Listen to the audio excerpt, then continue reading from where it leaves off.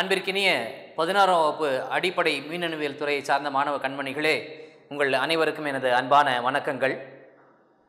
சென்ற நிகழ்வினுடைய தொடர்ச்சியாக மாணவர்களே மின் அழுத்தம் அதாவது நீங்கள் யோசிச்சிருப்பீங்க. அதான் வீட்டில் நம்ம மின்சாரம் அப்படின்றது ஒரு கரண்ட் இல்லையா? மின்னோட்டம் ஓகே இதில் என்ன ஒரு மின் அழுத்தம்? அப்புறம் என்னமோ ஒரு மின் தடை அப்படின்னு சொல்கிறாங்க அப்புறம் மின் சக்தி அப்படின்றாங்க அல்லது மின் திறன் அப்படின்னு சொல்லி சொல்கிறாங்க இதெல்லாம் என்ன? என்ன சார் கரண்ட்டுன்னு ஒன்று இருந்தால் போதும் இல்லையா? இது எதுக்கு தேவையில்லாத இன்னொன்று பல இதில் சொல்லிட்டு இருக்காங்களே. இவைகள்லாம் என்ன?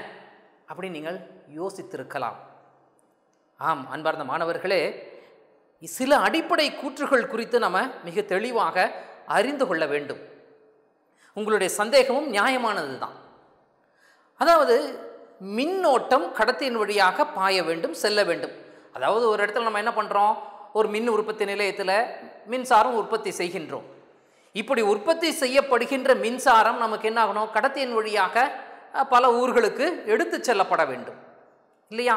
அதான் அடிப்படை நோக்கம். அதுதான் மின் விநியோகம் அப்படின்னு சொல்லி சொல்லுவோம். இதில் இந்த மின் அழுத்தம் அப்படின்றது என்ன? மின்னோட்டம் தான் போகணும். இந்த மின் அழுத்தம்ன்றது என்ன? இதை மிக எளிமையாக நீங்கள் புரிந்து கொள்வதற்காக ஒரு எளிய உதாரணத்தை உங்களுக்கு சொல்கிறேன் இப்போ நம்ம வீட்டில் நம்ம பைப்பில் தண்ணி வரக்கூடியது. இங்கிருந்தோ நமக்கு என்ன பண்ணுறாங்க நகராட்சியோ அல்லது முனிசிபாலிட்டியோ அல்லது பஞ்சாயத்தோ என்ன பண்ணுறாங்க நமக்கு தண்ணி தொட்டியிலிருந்து அந்த நீரை அனுப்புகின்றார்கள். அது பல மைல்கள் தூரம் பயணம் செல்ல வேண்டும். மேடு பள்ளங்கள்லாம் கடந்து வர வேண்டும். அப்படி வரக்கூடிய அந்த நீர் ஒரு போதிய அழுத்தம் தரப்படவில்லை என்றால் அதாவது அந்த ப்ரெஷர் அந்த நமக்கு பைப்பின் வழியாக என்னாகணும்? அந்த குழாயின் வழியாக அந்த தண்ணீரானது நம்ம வீடுகளுக்கு வந்து சேருவதற்கு ஒரு கண்டிப்பாக ஒரு குறைந்தபட்சம் ஒரு ப்ரெஷர் ஒரு அழுத்தம் தரப்பட்டு இருக்கும் அதுக்கு தான் நம்ம என்ன பண்ணுறாங்க அங்கங்கே வச்சு ஒரு மோட்டார் வச்சு அதை பம்ப் பண்ணுறாங்க இல்லையா? இல்லை என்றால் என்ன பண்ண முடியாது? அந்த நீரானது நமது வீடுகளுக்கு வந்து சேர முடியாது. போதிய வேகம் அதற்கு கிடைக்காது. அப்போ என்ன அர்த்தம்? ஒரு குறிப்பிட்ட அழுத்தம் இருந்தால்தான் தண்ணீரானது அந்த குறிப்பிட்ட தூரத்திற்கு என்ன பண்ண முடியும்? பயணம் செய்ய முடியும். நம்ம வீட்டுக்கு வந்து சேர வேண்டியது என்னது? தண்ணீர். அந்த தண்ணி தான் நமக்கு இங்கே மின்னோட்டம். ஆனால் அந்த மின்னோட்டம் அந்த தண்ணீர் வந்து சேர வேண்டும் என்றால் அதற்கு ஒரு போதிய அழுத்தமானது கண்டிப்பாக தேவை. அதுதான் இந்த இடத்துல அந்த மின்னழுத்தம். அந்த போதிய அழுத்தம் ப்ரெஷர் அப்படின்னு சொல்லி சொல்கிறோம் பார்த்தீங்களா அதுதான் இந்த இடத்துல இந்த மின்னழுத்தம். அப்போ மின்னோட்டமானது கடத்தின் வழியாக பயணம் செல்வதற்கு ஒரு அழுத்தமானது கண்டிப்பாக தேவை. அதுதான் இந்த மின்னழுத்தம். புரியுதா மாணவர்களே? அப்போ இந்த மின்னழுத்தம்ன்ற நம்ம எங்கேயா தனியாக தருவோமா சார்? அப்படின்னு சொல்லி கேட்டிங்கன்னா இல்லை. இந்த மின்சாரம் மின் நிலையங்களில் உற்பத்தி செய்யப்படும் பொழுது இந்த மின்னழுத்தமும் அதனோடே நமக்கு என்னாகும்? உ- உற்பத்தி ஆகிவிடும். ஆனால் அங்கங்கே நமக்கு என்னாகும்? பயணம் செல்லும் பொழுது இந்த அழுத்தமானது கண்டிப்பாக குறைந்து போய்விடும். ஒரு இடத்துல மோட்டர் வச்சு நம்ம தண்ணியை பம்ப் பண்ணி விட்டோம்னா அது பாட்டுக்கு பத்து கிலோமீட்டர் அல்லது இருபது கிலோமீட்டருக்கு போயிடுமா? அப்படின்னு கண்டிப்பாக இருக்காது. ஒரு குறிப்பிட்ட தூரம் போன உடனே அதனுடைய அழுத்தம் கண்டிப்பாக நமக்கு சக்தி குறையுது பார்த்தீங்களா? அதை போலவே இங்கே நமக்கு என்ன ஆகும்? இந்த மின்னோட்டமானது இந்த அழுத்தத்தின் காரணமாக ஒரு குறிப்பிட்ட தூரம் செல்லும் பொழுது கண்டிப்பாக அதில் இழப்பு ஏற்பட்டு கண்டிப்பாக அழுத்தம் குறைந்து விடும். மீண்டும் அப்போ என்ன பண்ணோம்? ஒரு குறிப்பிட்ட தூரத்தில் அந்த அழுத்தத்தை நம்ம என்ன பண்ணியாகணும் அதிகரிக்க வேண்டும். அதுக்கு தான் என்ன பயன்படுத்தியிருப்பாங்க? டிரான்ஸ்ஃபார்மர்கள் பயன்படுத்தியிருப்பார்கள். நீங்கள் பார்த்துருக்கலாம். இந்த டிரான்ஸ்ஃபார்மருடைய ஒரு முக்கிய நோக்கமும் கூட இதுதான் நண்பார்ந்த மாணவர்களே. இப்போ உங்களுக்கு மின்னழுத்தம் அப்படின்னா என்னன்றது மிக தெளிவாக புரிந்திருக்கும். இப்போ நம்ம மின்னோட்டம் இப்போ இரண்டு வித நம்ம தன்மைகள் பார்த்தோம். அதாவது மின்சாரத்தில் இரண்டு தன்மைகள் இருக்குது ஒன்று மின்னோட்டம் இன்னொன்று மின் அழுத்தம் மூன்றாவதாக இப்போ நம்ம ஒரு அதற்கு பார்க்குறதுக்கு முன்னாடி இந்த மின்னோட்டத்தை அளப்பதற்கு அப்படின்னு கண்டிப்பாக ஒரு அளவீடு இருக்கின்றது. அதே போலவே இந்த மின் அழுத்தத்தை அளப்பதற்கென்று ஒரு அளவீடு இருக்கின்றது. மின்னோட்டம் என்பது ஐ என்ற எழுத்தால் குறிக்கப்படுகின்றது ஆம்பியர் என்ற அலகால் அளக்கப்படுகின்றது. நல்லா உங்களுக்கு தெரியும் எந்த ஒரு அளவீடாக இருந்தாலும் சரி அதற்கு அலகு என்று ஒன்று இருந்தே தீர வேண்டும். அதை போல இந்த மின்னோட்டத்தை அளப்பதற்கான அலகு ஆம்பியர். அதே போல் மின்னழுத்தத்தை அளப்பதற்கான அலகு வோல்ட். இது வி என்ற எழுத்தால் குறிக்கப்படுகின்றது வோல்ட் என்ற அலகால் அளக்கப்படுகின்றது. அன்பார்ந்த மாணவர்களே மூன்றாவதாக நம்ம கடத்தி கடத்தினா நம்ம என்னது? உலோகம் இல்லையா? அது செம்பா இருக்கலாம் அல்லது அலுமினியமாக இருக்கின்றான். இதன் வழியாகத்தான் நமக்கு என்ன ஆகுது இந்த மின்சாரமானது ஒரு இடத்திலிருந்து மற்றொரு இடத்திற்கு எடுத்துச் செல்லப்படுகிறது.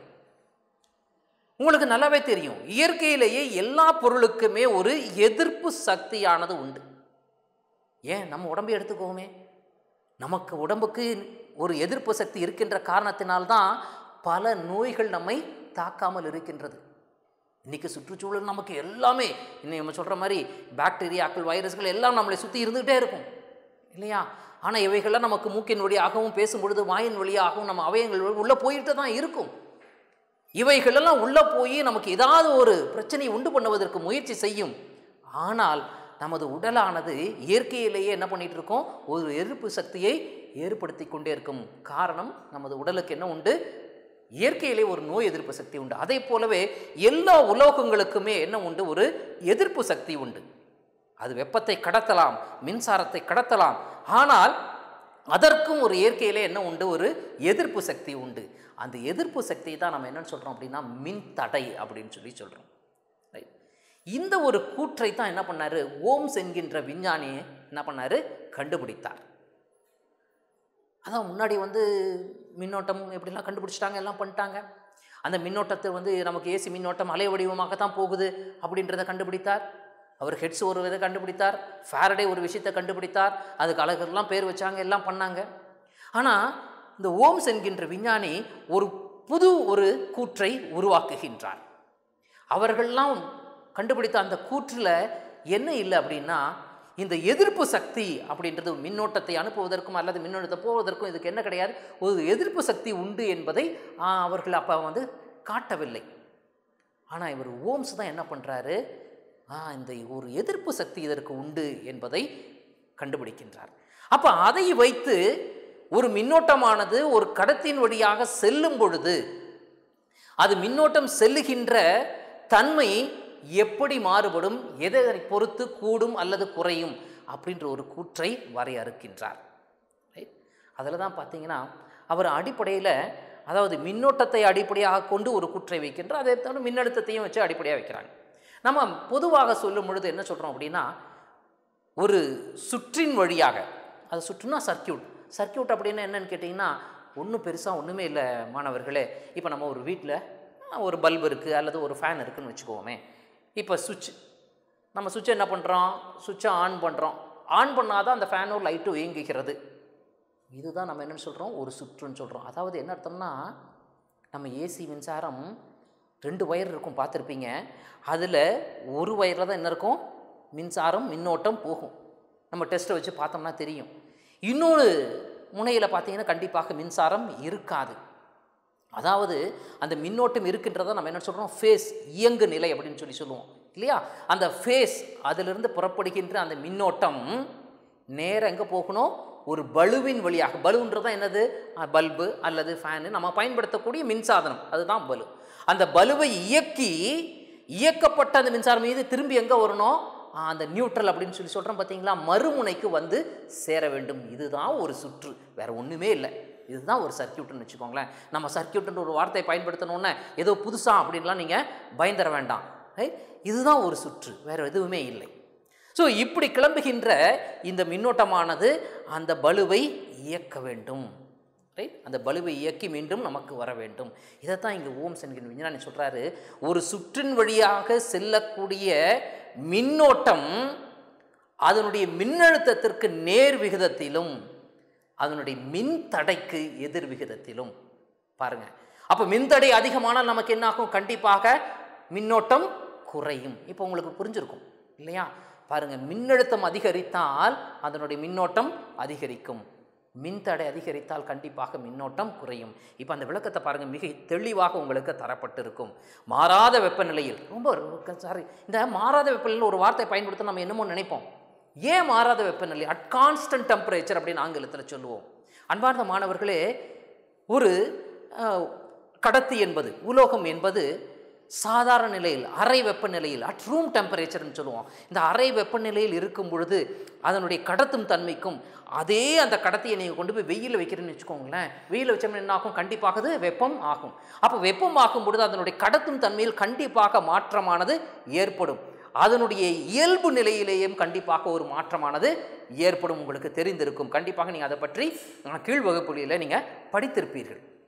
அதன் காரணமாகத்தான் இங்கே இந்த ஓம்ஸ் என்கின்ற விஞ்ஞானி மிக அருமையாக ஒன்று சொல்கிறார். என்ன சொல்கிறாரு மாறாத வெப்பநிலையில் அட் கான்ஸ்டன்ட் டெம்பரேச்சர் ஒரே வெப்பநிலையில் ஒரு மின் சுற்றில் பாயும் மின்னோட்டமானது அளிக்கப்படும் மின்னழுத்தத்திற்கு நேர் விகிதத்திலும் மின் தடைக்கு எதிர் விகிதத்திலும் இருக்கும்.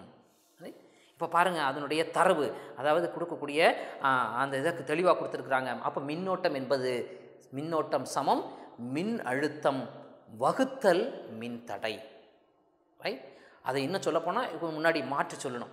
அதாவது I is equal to S V by R அப்படின்னு சொல்லி ஃபஸ்ட்டு சொன்னேன். நம்ம மின்னோட்டத்தை வைத்து தான் நம்ம இங்கே சொல்கிறோம் அதனால் அப்போ மின்னோட்டம் I is equal to V by R V என்பது மின்னழுத்தம் ஐ என்பது மின்னோட்டம் ஆர் என்பது மின்தடை அப்போ எப்போதெல்லாம் நமக்கு மின்னழுத்தமானது அதிகரிக்கின்றதோ கண்டிப்பாக அப்பொழுது மின்னோட்டமானது அதிகரிக்கும்.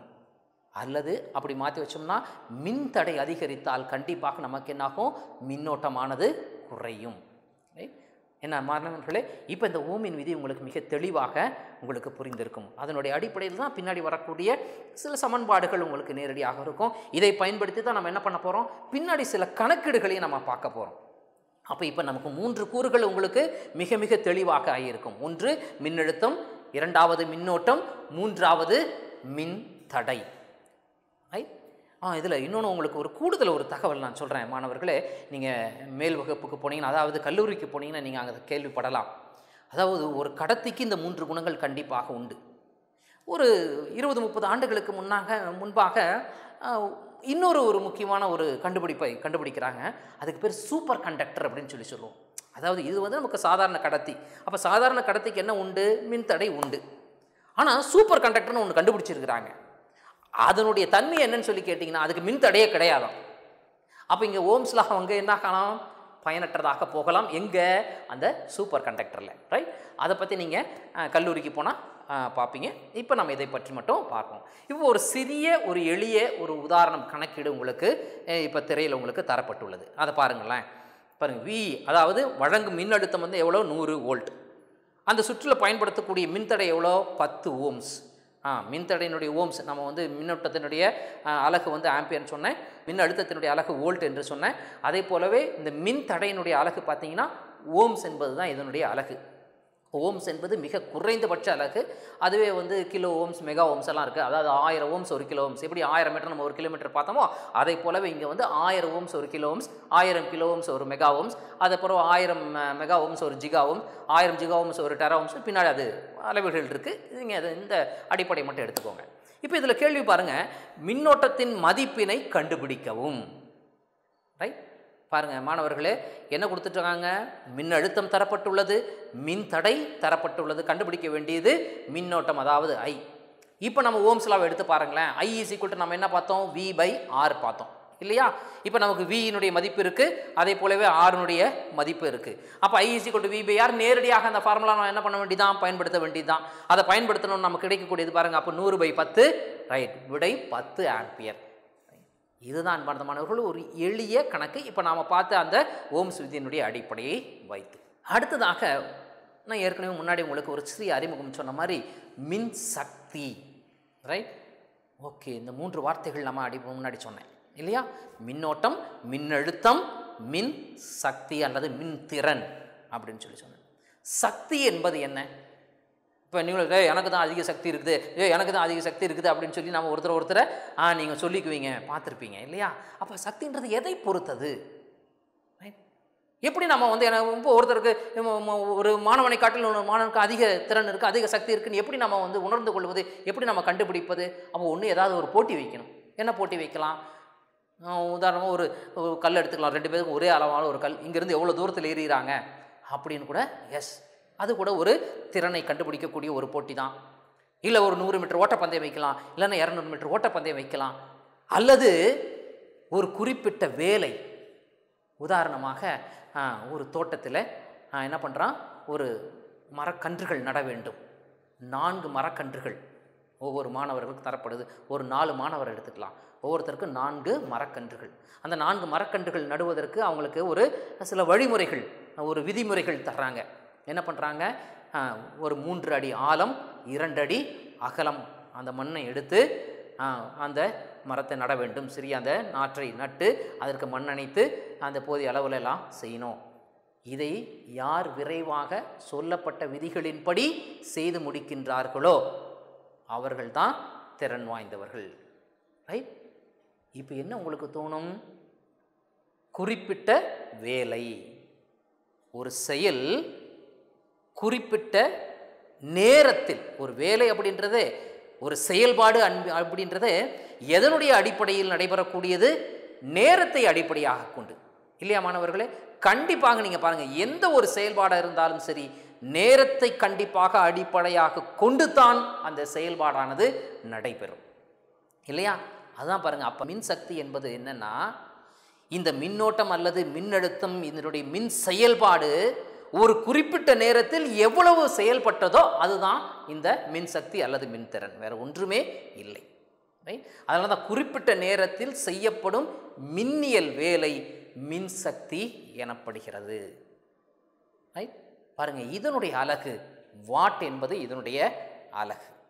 மின்னழுத்தத்தின் அழகு வோல்ட் மின்னோட்டத்தின் அழகு ஆம்பியர் மின் தடையின் அழகு ஓம்ஸ் இங்கே மின் சக்தியினுடைய அலகு வாட். ஒரு மின் சக்தி அப்படின்றது வேறு ஒன்றுமே இல்லை. மிக எளிமையாக சொன்னோம்னா செய்யப்பட்ட வேலை வகுத்தல் நேரம். அதான் பாய் எவ்வளோ நேரத்தில் ஒரு குறிப்பிட்ட வேலையானது செய்யப்பட்டதோ அதுதான். இதை நம்ம இன்னும் ஒரு சுருக்கமாக மிக எளிமையாக நம்ம பார்த்தோம்னா that is power is equal to it is nothing but V into I அவ்வளோதான் மின்சாரத்தை பொறுத்த வரைக்கும் power is equal to voltage into current அவ்வளோதான் நம்ம V is equal to ohms with பண்ணி பார்த்தோம். வி இஸ் ஈக்குவல் டு என்னன்னு சொல்லி பார்த்தோம். ஐ பெருக்கல் ஆர் ஐ இன்ட்டு ஆர் அப்போ அந்த இடத்துல வின்ற இடத்துல நம்ம ஐ இன்ட்டு ஆர் பயன்படுத்தணும்னு வச்சுக்கோங்களேன். அப்போ ஐ பெருக்கல் ஆர் இன்னொரு ஐ இருக்கும். அப்போ பி இஸ் ஈக்குவல் டு அப்போ சக்தி பி இஸ் ஈக்குவல் டு நம்ம என்ன சொல்லலாம்? ஐ ஸ்கொயர் ஆர் என்றும் சொல்லலாம். தப்பு இல்லையா. I into I I square பெருக்கல் ஆர் அப்போ இரண்டு வழிகளில் நம்ம என்ன பண்ணலாம்னா மின்சக்தியை நம்ம கணக்கிட முடியும். அப்போ நமக்கு தேவை என்னென்னா ஏதாவது இரண்டு கூறுகள் இருந்தால் நம்ம என்ன பண்ணுறோம் மூன்றாவது கூற்றினை மிக எளிமையாக கண்டுபிடித்துக் கொள்ளலாம். அப்போ மின் சக்தியை கணக்கிடுவதற்கு நமக்கு இரண்டு வழிமுறைகள் இருக்குது ஒன்று power P is equal to V into I இன்னொன்று P is equal to I square into R இந்த இரண்டு வழிகள் நம்ம என்ன பண்ண முடியும்? இந்த கணக்கீட்டை நம்ம பெற முடியும். அடுத்ததாக மாணவர்களே மின் இயக்கு விசை. ஆங்கிலத்தில் என்ன சொல்கிறோம் எலக்ட்ரோ மோட்டிவ் ஃபோர்ஸ் அப்படின்னு சொல்லி சொல்கிறோம் பாருங்கள் இதனுடைய விளக்கம் மிக எளிமையாக உங்களுக்கு தரப்பட்டுள்ளது. ஒரு மின் புள்ளியில் எதிர்மின் துகள்களின் அழுத்தத்தினால் கிடைக்கும் விசையே மின் இயக்கு விசை எனப்படுகிறது. நல்லா கவனிங்க. பாருங்கள் திருப்பியும் அதை நல்லா பாருங்கள் ஒரு மின் புள்ளியில் எதிர்மின் துகள் எதிர்மின் துகள் என்னது? எலக்ட்ரான். இதற்குடைய அழுத்தத்தின் காரணமாக கிடைக்கின்ற விசையே நமக்கு மின் இயக்கு விசை. இதனுடைய அழகும் என்னன்னு சொல்லி கேட்டிங்கன்னா ஓல்ட் கிட்டத்தட்ட வோல்ட்டினுடைய அதாவது மின்னழுத்த பார்த்தீங்க பார்த்தீங்களா? அதனுடைய இன்னொரு ஒரு பரிமாணம் தான் இது. வேறு ஒன்றும் இல்லை. நீங்கள் புதுசாக ஏதோ நினச்சி ஒன்றும் பயந்துக்க வேண்டாம். அந்த மின்னழுத்தத்தினுடைய மற்றொரு ஒரு பரிமாணம். அதுதான் இந்த மின்னியக்க விசை. அதே போலவே மின்னழுத்த வேறுபாடு அப்படின்றதும் அதாவது நம்ம பலு லோடு அப்படின்னு சொல்லி சொன்னோம் பார்த்தீங்கன்னா ஒரு பலுவானது இயங்குகிறது. அதாவது மின்னோட்டம் போகுது அதை இயக்குகிறது இல்லையா? அப்படி இயக்கும் பொழுது கண்டிப்பாக அந்த இடத்துல என்ன ஆகும்? ஒரு மின்னழுத்த குறைவானது ஏற்படும். ஏன்னா அதை அதை எடுத்துக்கிட்டு இயங்குகிறது. இல்லையா? இப்போ உதாரணமாக ஒரு ஆற்றுல தண்ணி போயிட்டுருக்கு. குறுக்கில் என்ன பண்ணுறாங்க ஒரு டேம் ஒரு கட்டுறாங்க. அது சின்னதாக இருந்ததுன்னா அது எந்த அளவுக்கு இருக்கின்றதோ அந்த அளவுக்கு என்ன பண்ணும்? தண்ணீரை தடுத்து கொள்ளும். இல்லையா? அந்த தடுப்பு தான் இந்த பலு. வேறு ஒன்றுமே இல்லை. அந்த தடுப்பு சுவர் தான் இந்த இடத்துல இந்த லோடுன்னு வச்சுக்கோங்களேன். அப்போ அது என்ன பண்ணுது? தன்னுடைய தேவைக்காக தான் இயங்குவதற்காக ஒரு குறிப்பிட்ட அளவு மின்னழுத்தத்தை எடுத்துக்கொள்கிறது பார்த்தீங்களா? அதை தான் நம்ம என்னென்னு சொல்கிறோம்னா இந்த இடத்துல அந்த வோல்டேஜ் ட்ராப் அப்படின்னு சொல்லுவோம். தட் இஸ் அ மின்னழுத்த வேறுபாடு. இதனுடைய அழகும் என்னென்னு கேட்டிங்கன்னா வோல்ட் என்பது தான் இதனுடைய அழகும். அடுத்ததாக அன்பார்ந்த மாணவர்களே மின் சுற்று ஏற்கனவே நான் உங்களுக்கு மிக தெளிவாக சொல்லியிருக்கிற ஒரு மின் சுற்று என்றால் என்ன அப்படின்றத பற்றி சொன்னேன். இருந்தால் அந்த விளக்கத்தை பாருங்கள் மின் வழங்கின் இரு முனைகளிலும் ஒரு பலுவை இணைத்தால் ரொம்ப எளிமையாக உங்களுக்கு சொல்லலாம் அப்படின்னு பார்த்தீங்கன்னா இப்போ வந்து செல்ஃபோன் நம்ம சார்ஜர்லாம் போட்டிருப்பீங்க. அந்த செல்ஃபோன் சார்ஜர் என்ன பண்ணுது? நம்ம செல்லை வந்து எஸ் செல்லுக்கு தேவையான அந்த மின்சாரத்தை கொடுத்து நம்ம செல்லுக்குள்ளே இருக்கக்கூடிய மின்னோட்டத்தை அதில் சேமிக்கின்ற வேலையை செய்கிறது. ரைட் இதுவும் இந்த மின் சுற்றுக்கு ஒரு எளிமையான ஒரு உதாரணம் தான் அடுத்ததாக மாணவர்களே கண்டிப்பாக சில குறியீடுகள் நம்ம தெரிந்திருக்க வேண்டும். நம்ம வந்து இப்போ நம்ம படிக்கக்கூடியது அடிப்படை மின்னணுவியல் துறை சார்ந்து நீங்கள் படிக்கின்றீர்கள் இல்லையா? மின்னணுவியல் துறையில் இன்னும் பிற்காலத்தில் நீங்கள் வர வர பார்த்தீங்கன்னா ஒவ்வொரு செயல்பாட்டுக்கும் நாம் அந்த இடத்துல அதனுடைய பெயரை எழுத மாட்டோம். அந்த பெயரை எழுதுறதுக்கு பதிலாக அதனுடைய குறியீடுகளை பயன்படுத்துவோம். நீங்கள் இன்னும் பார்த்தீங்கன்னா ஒரு பல்பு வாங்கி பாருங்கள் அந்த பல்புக்குள்ளே கூட ஒரு சில குறியீடுகள் இருக்கும். இன்றைக்கி இருக்கக்கூடிய எல்இடி பல்பாக இருந்தாலும் சரி அல்லது சாதாரண குண்டு பல்பாக இருந்தாலும் சரி ஏன் டியூப்லைட் நம்ம வாங்கிருக்கலாம் அதில் கூட பார்த்தீங்கன்னா கண்டிப்பாக அதனுடைய முனைகளில் சில குறியீடுகள் பயன்படுத்தியிருப்பார்கள் இன்னும் சொல்லப்போனால் எந்த ஒரு மின் சாதனமாக இருந்தாலும் சரி மின்னணு சாதனமாக இருந்தாலும் சரி கண்டிப்பாக அதனுடைய அளவீடுகள் குறிக்கும் பொழுது இந்த குறியீடுகளை பயன்படுத்தியிருப்பார்கள் அதனால் இந்த குறியீடுகள் நீங்கள் கண்டிப்பாக தெரிந்திருக்க வேண்டும். இந்த குறியீடு பார்த்தீங்கன்னா முதன் முதலாக இருக்கக்கூடியது அதாவது அந்த வலப்புறத்தில் இருக்கக்கூடியது ஏசி மின்னோட்டத்தை குறிக்கக்கூடிய ஒரு குறியீடு. ஏசி மின்னோட்டம் எப்படி அலை வடிவமாகத்தான் பயணம் செல்கிறது அப்படின்றது உங்களுக்கு நல்லாவே தெரியும். அந்த அலை வடிவம் சைன் அலை வடிவம் அப்படின்னு சொல்லி சொன்னேன். அந்த சைன் அலை வடிவத்தை குறிக்கிறது தான் தான் அந்த வட்டத்துக்குள்ளாக அந்த ஒரு அலை வடிவமானது உங்களுக்கு தரப்பட்டுள்ளது. அப்போ இதை நீங்கள் பார்க்கும்போதே தெரிஞ்சுக்கலாம். ஓ ஒரு இது ஒரு ஏசி மின்னோட்டத்தை குறிக்கக்கூடியது. அப்போ நம்ம ஒரு ஒரு மின் கருவியில் நம்ம அதை பார்க்குறோம்னு வச்சுக்கோங்களேன் இந்த குறிச்சிருந்தாங்கன்னா என்ன அர்த்தம்னா அதை இப்படி ஒரு சிம்பிள் போட்டு அதுக்கு பக்கத்தில் இரநூத்தி முப்பதுன்னு போட்டிருந்தாங்கன்னா என்ன அர்த்தம்னா இது இரநூத்தி முப்பது வோல்ட் ஏசியில் இயங்கக்கூடியது அப்படின்றதை நீங்கள் உணர்ந்து கொள்ள வேண்டும். அதே போலவே அந்த பக்கத்தில் இருக்கிறத பார்த்தீங்கன்னா இது ஒரு பேட்டரிக்கான ஒரு குறியீடு. அதாவது டிசிக்கான குறியீடுன்னு சொல்லலாம். அல்லது டிசி மின் வழங்கிக்கான ஒரு குறியீடு. பெரிய கோடு சின்ன கோடு அப்படின்றது நமக்கு பாசிட்டிவ் நெகட்டிவை குறிக்கக்கூடியது. அந்த பல கோடுகள் இருந்தால் என்ன அர்த்தம்னா ஒன்றுக்கு மேற்பட்ட செல்களை கொண்ட ஒரு பேட்டரி தொகுப்பு அப்படின்றது இது குறிக்கக்கூடியது. அடுத்ததாக பாருங்கள் ஒரு மின் சுற்றினுடைய வரைபடம். நான் ஏற்கனவே சொன்ன ஒரு சர்க்கியூட் ஒரு சுற்று அப்படின்னா என்ன? ஒரு புள்ளியிலிருந்து கிளம்பி ஒரு பலுவை இயக்கி மீண்டும் அதே புள்ளிக்கு வந்து சேருவது. அந்த ஏசின்றதை நம்ம என்ன நினச்சிக்கலாம்? நம்ம வீட்டில் பயன்படுத்தக்கூடிய ரெண்டு ப்ளக் அல்லது சுவிட்சுன்னு வச்சுக்கலாமா? ரைட் இப்போ அந்த சுவிட்சை நம்ம இயக்கும் பொழுது நமக்கு என்னாகும்? அந்த சுவிட்சுன்றதை மேலே அந்த சாவின் கொடுத்துருக்காங்க பார்த்தீங்களா அதுதான்.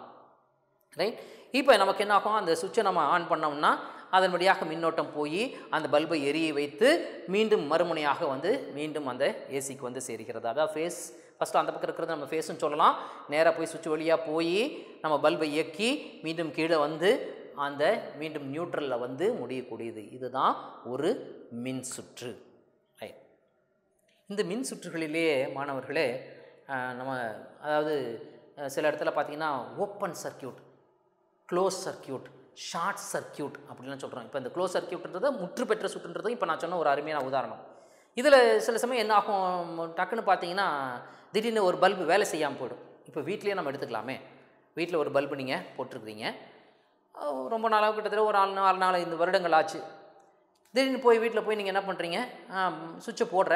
சுவிட்சை போட்டோன்னா டக்குன்னு அப்படின்னு ஒரு வெளிச்சம் வந்துட்டு போயிடுச்சு. அப்போ என்ன இருக்கும்? ஆ பல்பு என்ன ஆயிடுச்சு ஃபியூஸ் ஆயிடுச்சு அப்படின்னு சொல்லி சொல்லுவோம் எது கழட்டி பார்த்தோன்னு வச்சுக்கோங்க உள்ள இருக்கக்கூடிய ஃபிலமெண்ட் என்ன ஆயிருக்கலாம்?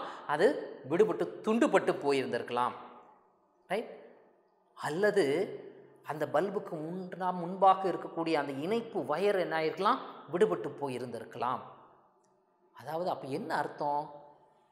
இந்த சுவிட்சில் இருந்தோ அல்லது அந்த ஏசி ஃபேஸில் இருந்தோ கிளம்பிய அந்த மின்னோட்டம் போய் பலுவை இயக்கி மறுமுனைக்கு வந்து சேரவில்லை.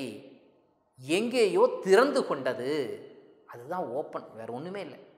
எங்கேயோ ஒரு நடுவில் ஒன்று அந்த பல்பு ஓப்பன் ஆகி அதனால் திறந்து போயிடுச்சோ? இல்லை இடையில இணைக்கப்பட்ட அந்த ஒயர் ஏதாவது ஒரு ஒயர்னு வந்து இடையில விடுபட்டு போய் அதனால் அந்த இணைப்பு திறந்து போயிருக்கலாம். இப்படி இணைப்பு நடுவில் எங்கேயாவது ஒன்று துண்டிக்கப்பட்டால் அதை தான் ஓப்பன் சர்க்கியூட்னு சொல்கிறோம் வேறு ஒன்றுமே இல்லை. இதுதான் அந்த ஓப்பன் சர்க்கியூட் அதற்குண்டான விளக்கம் தான் உங்கள் திரையில் தரப்பட்டுள்ளது. அடுத்ததாக பார்த்தீங்கன்னா க்ளோஸ் சர்க்கியூட் இப்போ இந்த படத்தில் பார்த்தீங்கன்னா மிக தெளிவாக உங்களுக்கு தரப்பட்டுள்ளது. திறந்த மின் சுற்றுனா என்ன? சுவிட்சே க்ளோஸ் ஆகாமல் இருந்தாலும் அது ஓப்பன் சர்க்கியூட்டு தான். இல்லை நடுவில் ஒயர் கட்டாக இருந்தாலும் அது ஓப்பன் சர்க்கியூட்டு தான். இப்போ ரெண்டாவது படத்தில் பாருங்கள் நடுவில் ஒயர் கட்டான மாதிரி காட்டியிருக்கிறாங்க. முதல் படத்தில் வந்து என்ன இருக்குது சுவிட்ச் வந்து ஓப்பன் ஆகிற மாதிரி காட்டியிருக்கு. இது வந்து ஒரு திறந்த மின் சுற்றுக்கான ஒரு உதாரணம். அடுத்ததாக பாருங்க ஒரு குறுக்கு மின் சுற்று. எஸ் இங்கே தான் மாணவர்களை நீங்கள் ரொம்ப ரொம்ப நம்ம ஜாக்கிரதையாக இருக்க வேண்டும். இப்போ நீங்கள் பதினொன்றாவதுக்கு புதியதாக அந்த மின் சுற்றுகள் நேரடியாக பயன்படுத்த போகின்றீர்கள். மின் சாதனங்களை நீங்கள் நேரடியாக வீட்டில் நம்ம பயன்படுத்தியிருப்போம். இருந்தாலும் இங்கே நம்ம என்ன பண்ணுறோம் செய்முறைகளை நம்ம வந்து இதெல்லாம் செய்து பார்ப்போம். அப்படி செய்முறைகள்லாம் செய்து பார்க்கும்போது ஒரு ஆபத்தை விளைவிக்கக்கூடியது எது அப்படின்னு சொல்லி கேட்டிங்கன்னா இந்த குறுக்கு மின் சுற்று தான் நமக்கு ஆபத்தை விளைவிக்கக்கூடியது. ஒரு ஓப்பன் சர்க்கியூட் நம்ம கட்டாயி போயிருக்கோம் அவ்வளோதான் அதை கண்டுபிடிக்கிறதா நம்மளுடைய ஒரு சிரமமாக இருக்கலாமே ஒழிய ஆனால் இந்த குறுக்கு மின்சுற்று என்பது தான் நமக்கு ஆபத்தை விளைவிக்கக்கூடியது.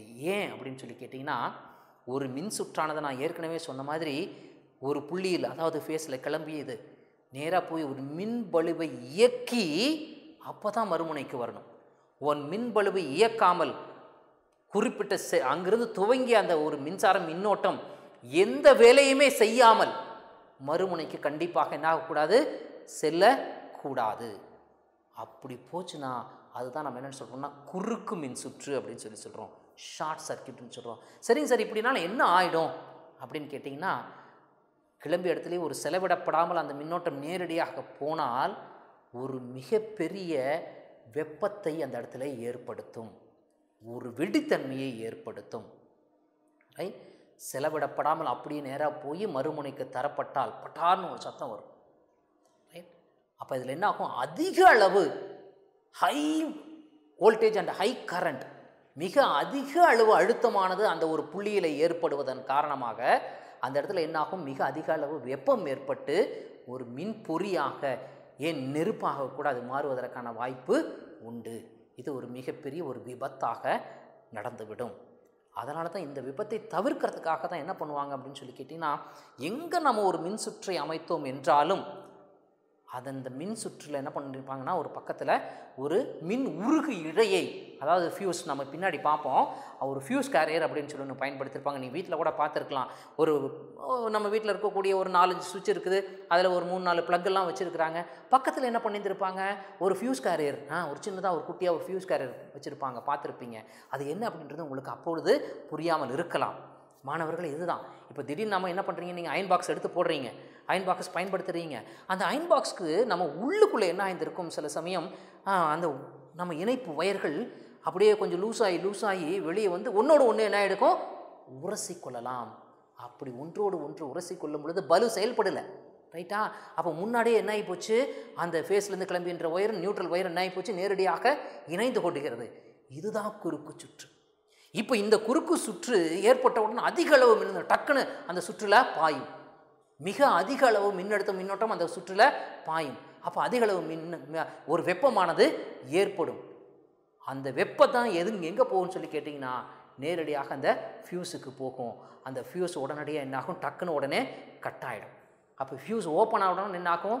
உள்ளே வருகின்ற அந்த போர்டுக்கு வரக்கூடிய மின்சாரமானது துண்டிக்கப்பட்டு விடும் ரைட்டா? அப்போ தொடர்ச்சியாக அதற்கு மின்னோட்டம் கிடைக்காது. அதனால் பாதிப்புகள் தவிர்க்கப்படும். இனமானவர்களே இதுதான் ஒரு குறுக்கு சுற்று. அந்த குறுக்கு சுற்றினுடைய செயல்பாட்டை தான் நீங்கள் என்ன பண்ணுறீங்க மிக எளிமையாக இந்த உங்களுக்கு படத்தின் மூலமாக தரப்பட்டுள்ளது.